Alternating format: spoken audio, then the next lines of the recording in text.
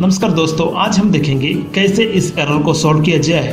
Error है unrecognised attribute named target framework तो देखते हैं ये एरर कैसे आता है। पहला पॉसिबिलिटी है कि आपका सिस्टम में डॉट नॉट फ्रेमवर्क 4.0 अगर इंस्टॉल नहीं है तो ये एरर आ सकता है। सेकंड अगर इंस्टॉल है तो भी अपने वेबसाइट के एप्लीकेशन पूल पे.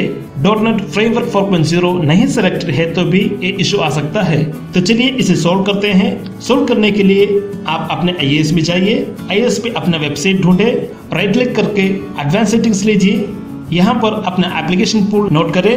यहाँ का एप्लीकेशन पूल है डिफ़ॉल्ट एप्लीकेशन पूल अब लिस्ट ऑफ़ एप्लीकेशन पूल से डिफ़ॉल्ट एप्लीकेशन पूल सर्च करें और उसे राइट क्लिक करके एडवांस सेटिंग्स लीजिए यहाँ पर. डॉटनेट फ्रेमवर्क कॉम्बो बॉक्स से आप देख सकते हैं 4.0 और 2.0 दोनों लिस्टेड है। मतलब. डॉटनेट फ्रेमवर्क 4.0 इस सिस्टम पे इंस्टॉल है।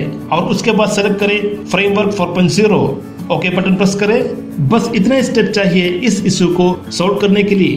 तो दोस्तों, इस वीडियो में इतना ही। वीडियो अच्छा लगा तो लाइक करें शेयर करें और सब्सक्राइब करें। धन्यवाद।